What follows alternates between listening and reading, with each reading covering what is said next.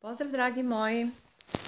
Evo ja sam rešila da na jedan ovakav način kroz kratka videa odgovaram na vaša pitanja i za sve one koji se prvi put susreću sa Reikijem da se bolje upoznaju šta je Reiki, kako funkcioniše i kao što sam rekla da odgovaram na vaša pitanja. Pa evo ovako, za sve one koji me ne znaju, ja sam Nataša Cvetković-Lazić, Riki praktičar i životni trener. E, jedna Milica je pitala da li je potrebno verovati u Riki e, da bi smo kanalisali životnu energiju.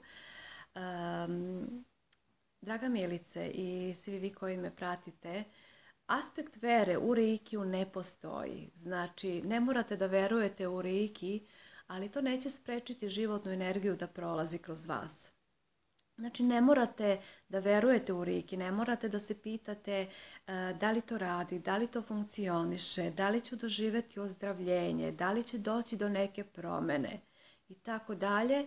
Jednostavno to radi.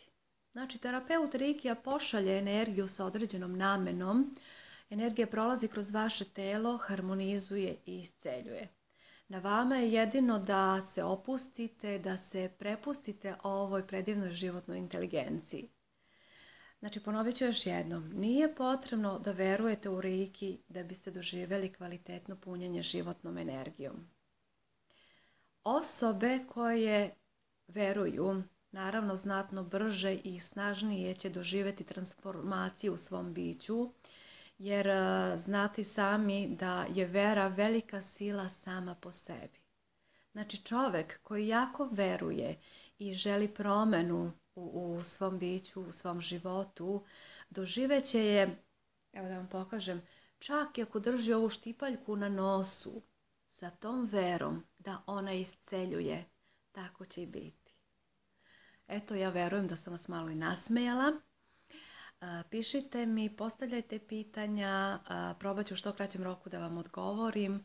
Šaljem vam veliki rik i zagrljaj. Vidimo se.